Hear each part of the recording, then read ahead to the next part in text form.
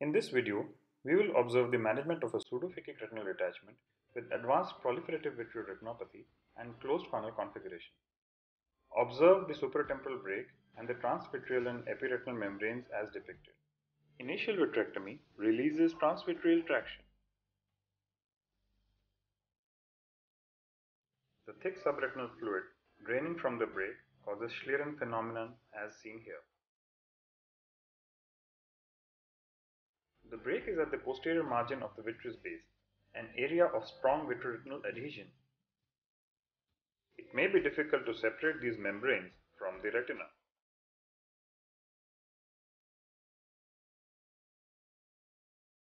After initial opening of the funnel mouth to create space, attention is directed at thick posterior adherent vitreoretinal membranes.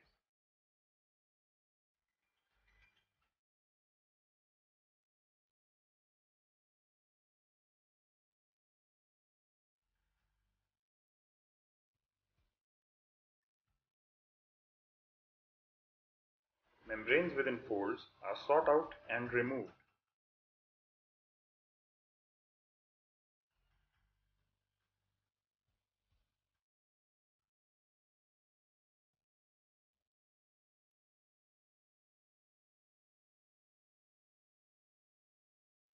A small quantity of perfluorocarbon liquid is injected to open up the posterior space. The retina is protected from the PFCL jet by the light pipe. Posterior PFCL helps in providing countertraction during anterior membrane removal.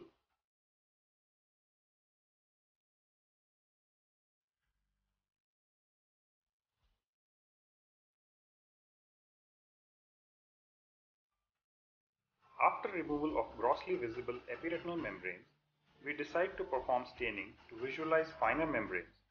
Double staining is preferred. Initial staining is done with triamcinolone crystals which are then removed, in this case with perfluorocarbon liquid.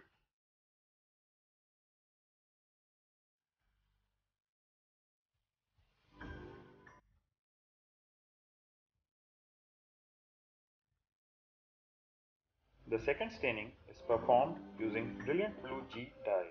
The brilliant blue injection dusts off excessive triamcinolone crystals off the retinal surface while staining the contracted, puckered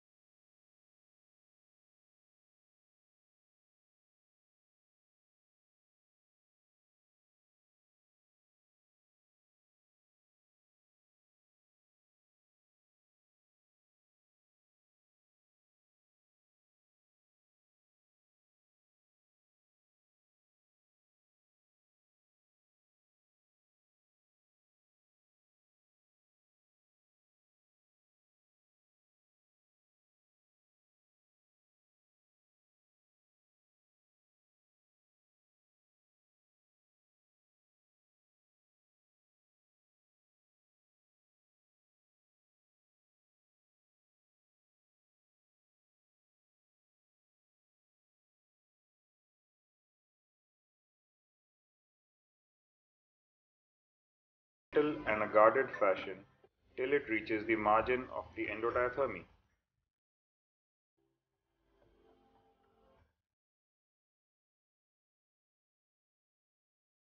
The vitrectomy cutter is used to divide the retina at the outer margin of the endodiathermy.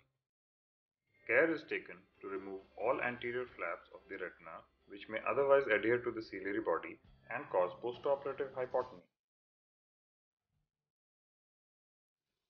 Perfluorocarbon is now filled up to beyond the retinotomy margins to flatten the same. The retinotomy margins are lasered all around with 5 rows of endolaser.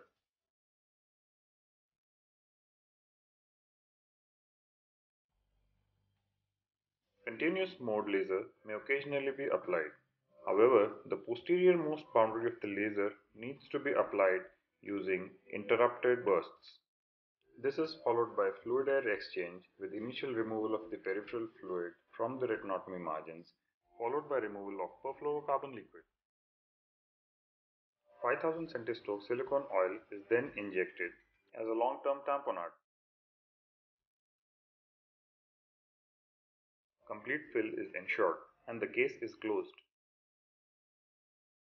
Excellent anatomical result and a return of 20 by 100 vision makes the procedure gratifying. This is the patient's posterior capsule. YAG laser capsulotomy puts an eye at the risk of retinal detachment. Careful retinal examination after laser can prevent this complication.